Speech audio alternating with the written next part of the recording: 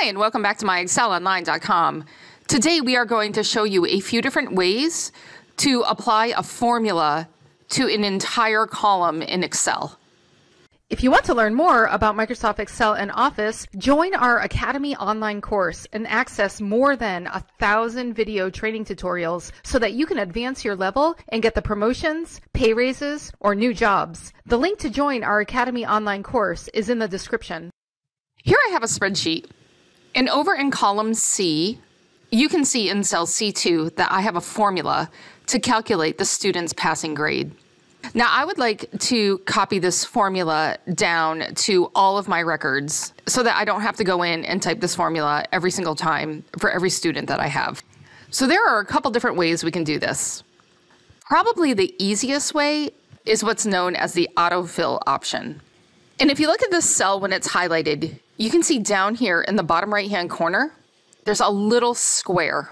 So, as long as I have written a formula next to a column of data, I can just select this little square with my mouse. And what I want to do is hover over the little square until my mouse changes to this cross, and then just double click with my left mouse button. And my formula will be copied all the way down. Another way I can accomplish almost the exact same thing is instead of double clicking on this square right here on the bottom right hand corner, if I just click once with my mouse and then I drag, the formula will also be copied in all of those cells.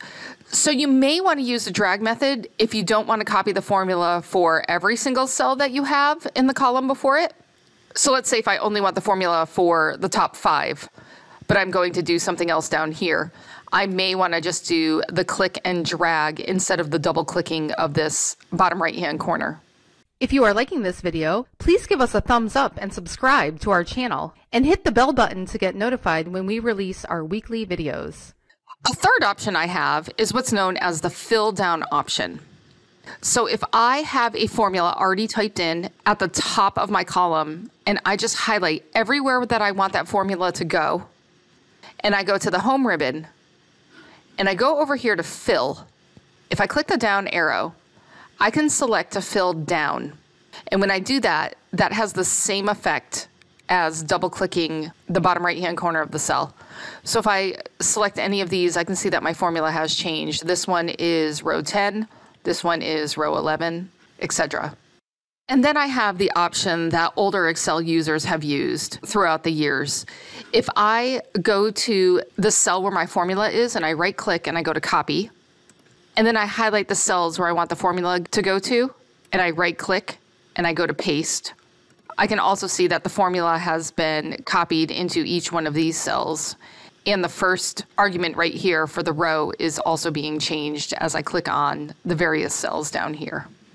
In my final option, if I go to the cell where my formula is, and I left click and highlight that cell and all the cells where I wish the formula to be copied to, and I hit Control D, I can do the same thing that we've been doing in the previous examples, except this time I'm using Control D as a keyboard shortcut to copy that formula and fill it into all the cells below it.